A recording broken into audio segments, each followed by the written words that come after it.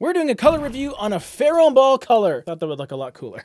This is a paint color with a name that couldn't be any more vague. It's called off-white, which is true, but the real question is how off is it? I'm giving you my detailed thoughts on this paint color and also attempt to create a color palette with three other Farrow & Ball paint colors, as well as two trim options you can use for your baseboards, doors, and frames. Honestly, putting together color palettes is one of my favorite things to do, so you don't want to miss this one. Now, one important distinction I want to make right off the bat don't confuse this color for white because it isn't. The off in off-white is no joke, and I think the description on the Farrow & Ball website does a much better job at describing it, which is a chalky mid-tone. I would still say it's in the upper half lightness-wise of all paint colors, but to be completely honest, I don't quite know exactly how light or dark it is, because for my subscribers watching, you already know about Farrow & Ball and their cheekiness when it comes to revealing details about their paint colors. Light reflectance value is one of these details that they never seem to mention. Lightning quick explanation here,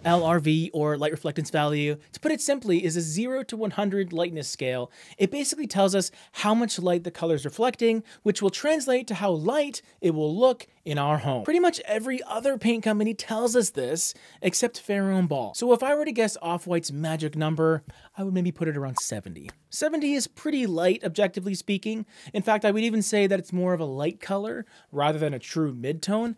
And that tells me it's gonna feel pretty nice to use in interior projects. I think more people are scared to use darker colors generally rather than lighter ones. And I think Off-White isn't going to give you nightmares because it's too dark. I'm gonna throw up a white background right here and put up Off-White next to a color called Dimpse, which is a paint color that I use on trim from time to time. Not a huge difference in lightness to be fair. To me, Off-White has a timeless appeal, and I would hope it would with that straightforward name it has, and I feel that because of its warmer leaning undertone. It has this grayed out yellow quality to it, and that is a combination of colors that has still stood the test of time. You can call it a variation of grayish, which even with the recent heat that warm gray is getting, it still seems to be one of the more popular color categories in general. Yes, there are going to be people that just want to go the opposite way and pick cold colors and cold grays, or pick something more vibrant and out there. But I think more often than not, colors like off-white are going to continue to be popular. And that's because they can act as a bit of a safety net for your design.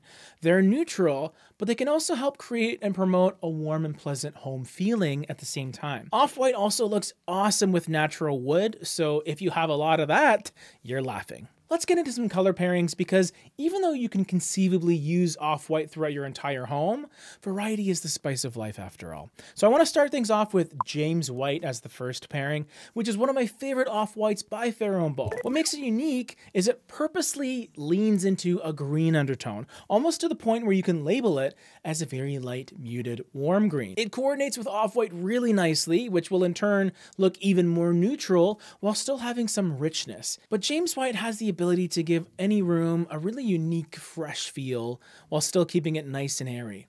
Also, best name. Purbeck Stone is a mid-tone paint color that brings some earthiness to this palette, and while Off-White has more of a clear yellow warmth, Purbeck Stone feels more like a mid-tone taupe that combines gray and brown, maybe has a dash of green peeking through as well, and that allows it to coordinate with James White really nicely.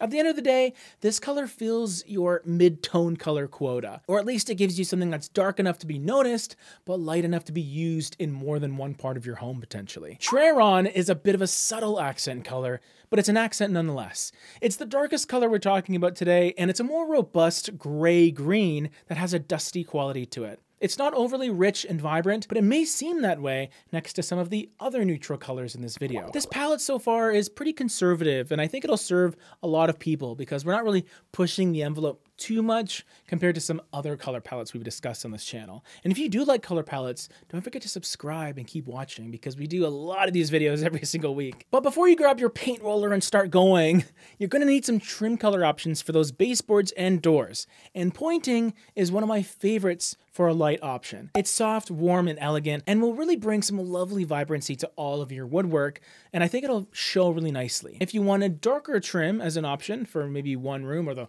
whole house, I love light gray as a choice. What's awesome is it's actually a little more brown than gray to me, but it also has a dash of green in its undertone, which unlocks its potential to pair it pretty nicely with all four of the other colors in this palette. Here's the palette all together. There's a good chance that these colors will look awesome in your home, but this is all dependent on your personal taste, so always test your colors out before you commit to anything. See you on the next video.